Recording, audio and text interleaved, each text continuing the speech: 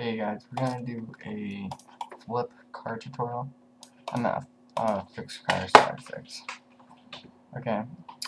What this code means is that if the player is in a vehicle, we'll send them a message. No, if the player is not in a vehicle, it'll send them a message saying you must be in a vehicle.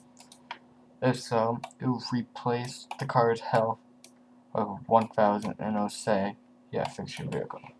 Alright. Oops, describe that. So, we're to open up your Pawno, open up your game mode, and scroll down to um, the commands. We're to enter and we're to paste that in. I think that's what the symbol we do. Alright. We have a one. Uh, we have a 217 loose indentation warning. That means that there's an indent problem. It could because of, be because of this. So let's try to do this. see if that fixes it. Oops.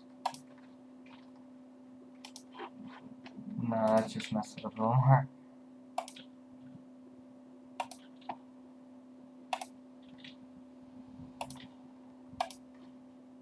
Alright. 156 or 145.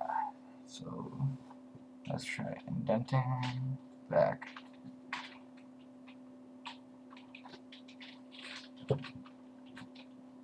There we go, I should fix that.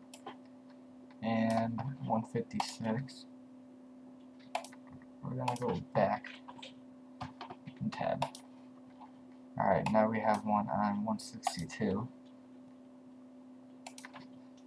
Back, oops and one on 168.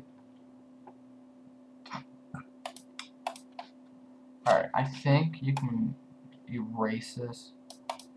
I'm not quite sure, but don't. Just go back, indent the back ones. and there you go. You now have a fix command in your game mode. Thank you for watching. Peace out.